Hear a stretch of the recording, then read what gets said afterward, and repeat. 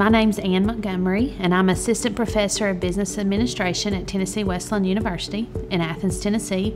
And I first used a marketplace simulation uh, last spring semester in a supply chain management class, which is a part of our marketing emphasis. I was very impressed with the software. I, I learned a lot through the process. What I loved about it is, uh, especially in a course like supply chain management, a lot of these students um, have never experienced any work experience of, of, a significant nature to understand the concepts you're trying to relate through a text. So this gave them practical application. Um, I saw students that typically are kind of hard to motivate um, to do their best, um, being naturally motivated by that sense of competition. I think students enjoy simulations because they do actually see results of their efforts um, and that they can apply, obviously, things they're learning and see how it plays out.